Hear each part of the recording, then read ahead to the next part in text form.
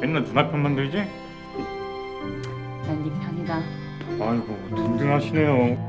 이 집 팔고 아파트로 들어가. 친척들 다 돈 때문에 정신없을 때 엄마가 나 데리고 간 집이잖아. 우리 아지타냐 그럼 뭐가 있을까? 볼일? 피는 계속 내려온다. 나 서울 가지 말라고 샀어? 저희 가족 일에 끼어들지 마세요. 야 김성훈 뭐해? 무슨 저희 가족이 따로 있어?